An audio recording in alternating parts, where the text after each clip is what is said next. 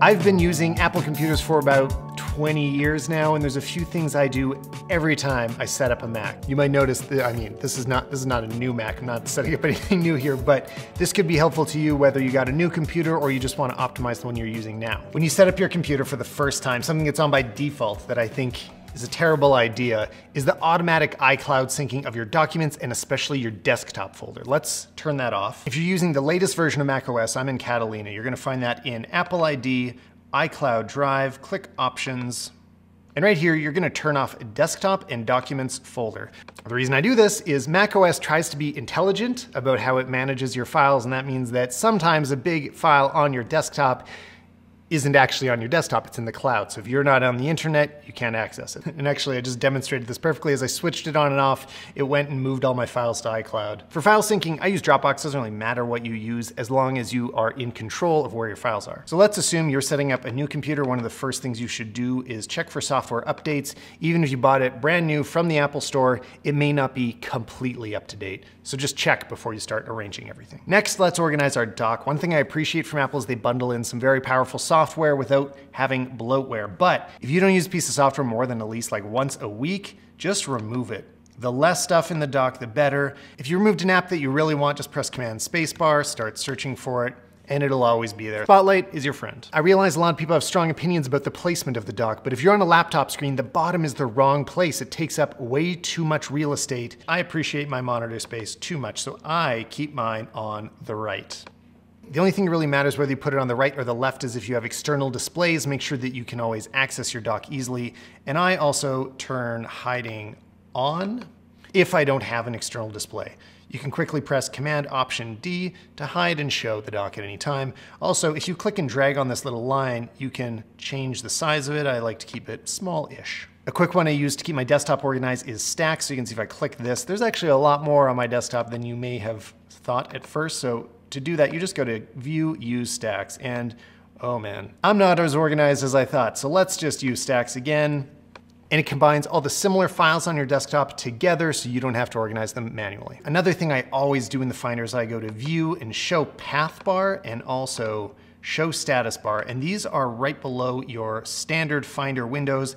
They both show you exactly where a file is located. You can see the path. So when you're deep inside a folder, you can always track it back and see where it is. And the status bar is an old school part of macOS. that lets you see how much space is available on your hard drive and how many items you have selected in the current folder. A detail that's really important to me, and you may not even have noticed, is that by default, scroll bars are hidden until you start scrolling. I think this is a usability mistake because you don't have a sense of how far down you are in a window. So I go to General in the System Preferences, Show Scroll Bars, and Always.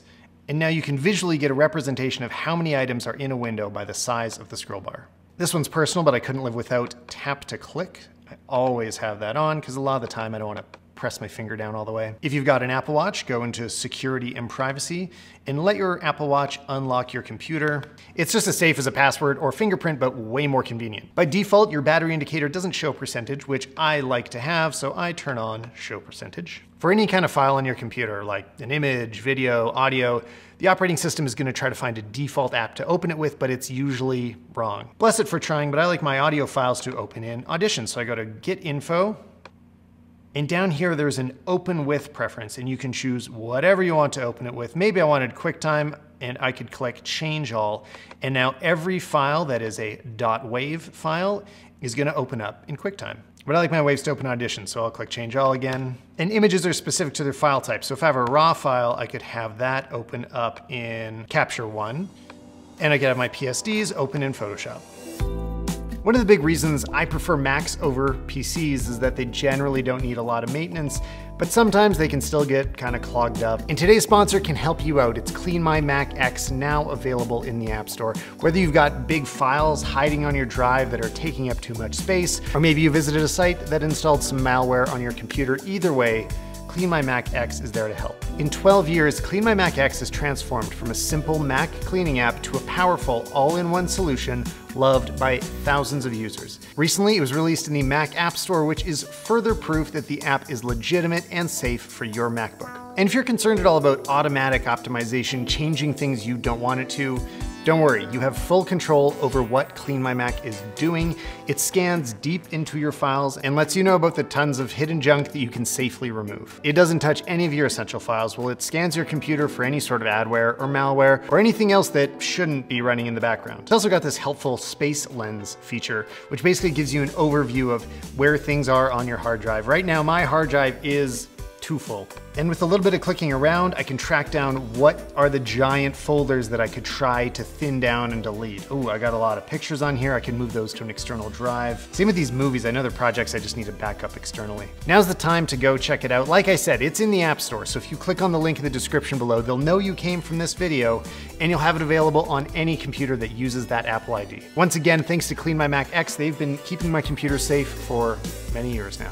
Here's an exercise I'm glad I did a while ago. Don't rely on videos like this to tell you how to set up your computer. Make a list of your own. These are all the apps and the settings that I change every time I set up a new Mac because it's hard to remember them. And if you're wondering, should I set up a Mac as a new computer or import everything from my previous computer?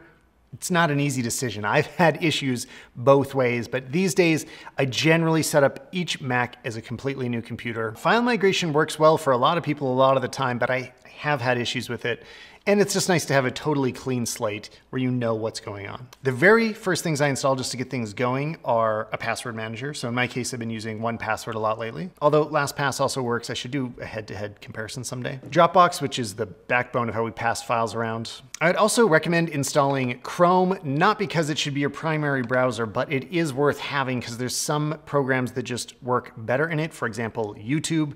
But honestly, Safari is way more battery efficient. Chrome is a RAM hog and will slow down your whole machine. And then I install Setapp, which is kind of like installing dozens of other apps because there's a lot of stuff I just use in here all the time and I just pay a subscription to have access to them. So a big one is Bartender. And actually Bartender is running all the time. If you look up here in my menu bar, you'll notice there's not a lot of stuff going on. I'm actually gonna go into my preferences and hide even more of it. For example, my screen recorder. We don't need to see that right now. If I say hide, then it's only visible when I click these three dots. Honestly, my computer feels like a mess if I don't have Bartender installed. Another favorite is Screens. This allows me to access my computer from other computers, so especially the iMac here at the studio, I can reach it from my laptop and it's connected to other drives and stuff like that. Now, in terms of software, we run a photo and video production company, so a lot of this is creative stuff. I'm just gonna go through my dock Real quick, here's what I've installed. For photography, Photoshop is right near the top, along with Lightroom and also Capture One. I'm kind of moving back and forth between the two. A lot of things drive me crazy about Lightroom lately. For editing my podcast, I use Adobe Audition, and I've actually been thinking about trying Logic because there's a 90-day free trial right now. A lot of apps have free trials these days,